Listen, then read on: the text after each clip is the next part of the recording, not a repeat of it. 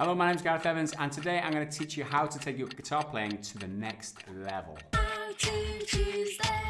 This question came in from Carl Fisher, and he asks, how do I take my guitar playing to the next level? Is it music theory, or is it just learning through tabs and practicing hard? So is it simply a question of practice makes perfect? I would say no. Practice makes permanent more times than not. You see, the thing is, if you're practicing the wrong things and if you're getting making mistakes all the time, the only thing that you will do is consolidate those mistakes and you will just play wrongly all the time. But don't get me wrong, practicing is a huge part of it, but it's not everything. And also theory, it's not everything. You have to make sure that you get the right feedback about your playing. Now, if you're starting out, the best place to get it is from a guitar teacher. You really need somebody to assess your playing. The best way to do it, if you're an advanced player, is to record yourself playing, listening for mistakes like the timing, for rhythm, seeing if you're playing it with enough passion. It's the little things that'll take your guitar playing to the next level, and you do have to focus specifically on the little things and improve those little things. So the whole process would be you need to analyze your playing, you need to identify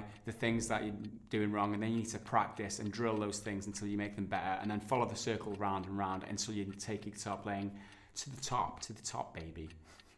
The very last thing I want to highlight is the thing that a lot of guitar players miss is the emotion and the feeling that you put behind the music. So I'm going to leave you with my favorite Beethoven quote, and he said, to play a wrong note is insignificant, but to play without passion, that's inexcusable.